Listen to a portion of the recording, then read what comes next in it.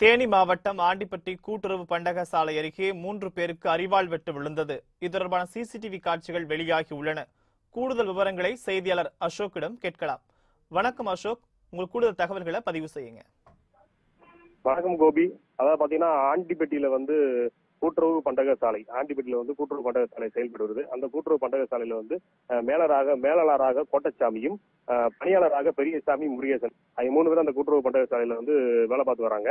அஹ், அந்த கூட்டுறவு பண்டக சாலை முன்பாக ஆண்டிபட்டி பக்கத்துல உள்ள மராபட்டியை சேர்ந்த நாகராஜ் என்பவர் வந்து கரும்பு கட்ட வச்சு அவனுக்குள்ள வந்து வியாபாரம் பண்ணி வர்றாரு. அவங்க வந்து கூட்டுறவு பண்டக சாலையை வந்து க- வரும்போது அந்த மூணு பேர் என்ன சொல்றாங்க எங்களுக்குள்ள கடப்படாமையா நடப்பாதையில வந்து நீ வந்து கரும்பு விவசாயம் பண்ண வேணா அந்த கரும்பு கட்டு செய்ய வேணா நீ அவனுக்கு கொண்டு போய் வந்து விற்பனை பண்ணு அப்படின்னு சொல்றாங்க. அவர் அந்த கரும்பு கரும்பு வெட்டி கொடுக்கறதுக்கு வச்சிருந்த அருவாள் எடுத்து கோட்டைச்சாமி மேலாளரையும் பெரியசாமி சேல்ஸ்மேனையும் அவர் முருகேசன் அந்த மூணு பேரையும் வந்து அவங்களுக்குள்ள உள்ள மண்டை பகுதியிலையும் கால் பகுதியிலையும் வந்து வெட்டிடுறாரு.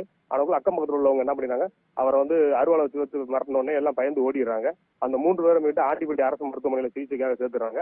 அங்க அந்த பக்கம் அதன் அதன் அருகில உள்ள சிசிடி கேமரா வந்து ஆய்ந்து ஆராய்ந்து பார்க்கும்போது அவர் கையில வச்சிருந்த அருவாவை எடுத்து அந்த மூன்று மூன்று பேரையும் வந்து மண்டை பகுதியிலையும் கால் பகுதியிலையும் வெட்டி அஹ், காயமடைஞ்சிடுறாங்க. காயமடைஞ்சு ரத்த வெள்ளத்துல இருந்தவொடனே அந்த பொதுமக்கள் அவங்க அவங்களுக்குள்ள இருக்கவங்களையும் மடக்கி நாகராஜை வந்து ஆண்டிவெட்டி போலீஸார் வந்து அவரை வந்து காவல் நிலையத்துக்கு கைது பண்ணி கூட்டு போயிடுறாங்க. இவங்க மூன்று பேரும் ஆண்டிப்பட்டி அரசு மருத்துவமனையில சிகிச்சை பெற்று வராங்க. அதனுடைய சிசிடி காட்சி வந்து இப்ப வெளியாகி தற்போது வந்து பரபரப்பை ஏற்படுத்தி வருகிறது ஆண்டிப்பட்டி பகுதிகளில்.